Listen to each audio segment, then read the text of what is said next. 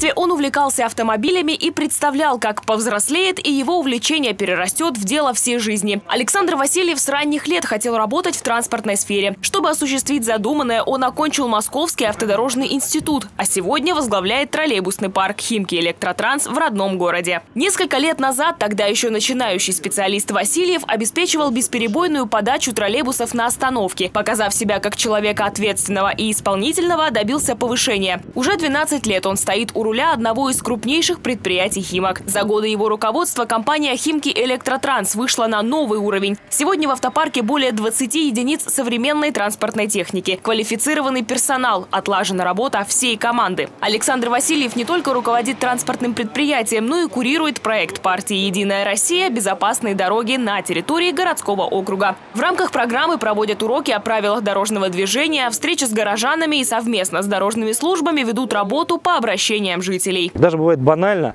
а там вот жители видят, например, делают асфальт и начинают переживать. Вот, а здесь делают понижение, а вот у нас есть там предчувствие, что его не сделают. Поэтому выезжаем, а, смотрим, успокаиваем, да, и у нас город доступной средой, город должен быть удобный, городской округ Химки должен быть самым удобным. Желание сделать город лучше привело Александра Васильева в движение общественной поддержки «Химки. Интересно жить». В пандемию он и сотни других добровольцев помогали людям, находящимся в зоне риска – ветеранам, пенсионерам, горожанам, имеющим серьезные хронические заболевания. Покупали и доставляли продукты, медикаменты, средства индивидуальной защиты. Часто помогали в быту. Добровольческое движение сыграло огромную роль в пандемии для того, чтобы каждый житель чувствовал, что ну, помощь рядом.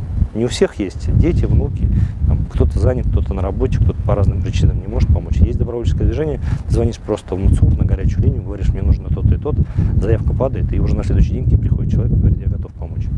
За свою активную жизненную позицию и желание помогать другим Александр Васильев был избран лидером движения общественной поддержки «Химки. Интересно жить». Вместе с коллегами он регулярно участвует во встречах с жителями, собраниях трудовых коллективов предприятий городского округа, на которых химчане выдвигают свои инициативы, направленные на улучшение жизни в городе. Вы же живете в этом дворе, вы же живете на этой улице, вы знаете, что вам хочется, что вам нужно, поэтому именно от жителей должна идти инициатива. Только житель знает, где и что он хочет видеть в своем дворе. А когда эти жители объединяются, их становится больше, жители объединяются в чаты, они объединяются домами, они объединяются дворами, и они знают, что и говорят нам, вот, мы хотим это. А нам, нам как лидерам движения уже общественной поддержки проекта «Химки. Интересно жить» мы продвигаем, продвигаем, продвигаем инициативы для того, чтобы эти инициативы доходили до конечных точек.